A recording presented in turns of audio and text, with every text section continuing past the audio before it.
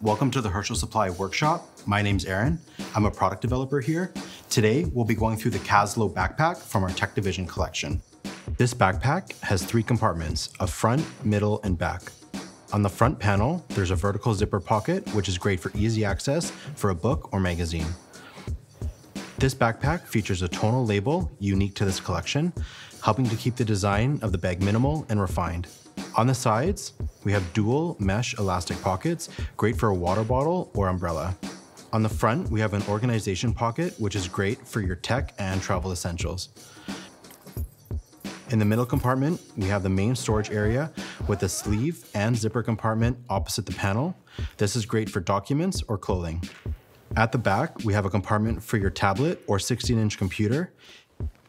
Coming around to the back of the backpack, we have padded reinforced back straps, a sternum strap, a hidden pocket for your headphones. There's a dedicated sleeve for your passport and a trolley sleeve, which you can put on your luggage, which makes getting through the airport a breeze. Lastly, we have a zipper compartment, which is dedicated for your laptop or tablet. It also features a buckle, which keeps your tech secure for those long hauls.